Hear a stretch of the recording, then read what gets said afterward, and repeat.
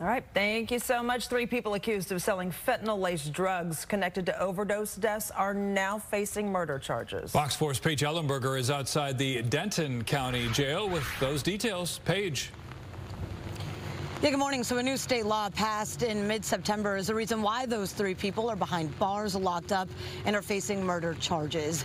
Now, Denton police say they've arrested two people yesterday for selling fentanyl-laced drugs to Corey Culver. Officers found the 29-year-old from North Carolina dead in a hotel room along I-35 and Mayhill Road in mid-October. Police found text messages on Culver's phone to Tabitha Balint about her bringing him the drugs. And then during an investigation, she admitted to getting the drugs from Raymond Hernandez, someone she had lived with at the time. Both are now facing murder charges and are in the Denton County Jail. Meanwhile, over in Fort Worth, the grand jury indicted 46-year-old Jacob Lindsay for murdering 26-year-old Brandon Harrison. Police say Lindsay sold Harrison fentanyl-laced drugs outside of the Hulen Mall.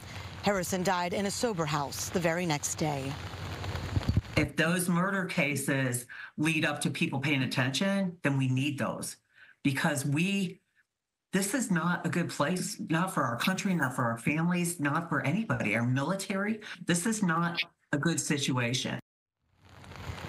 Again, a new state law that went into effect in September allows prosecutors to charge fentanyl dealers with murder. Now, if you or someone you know is struggling with addiction, we do have resources over on our website, fox4news.com. Live in Denton County this morning, I'm Paige Ellenberger for a Good Day.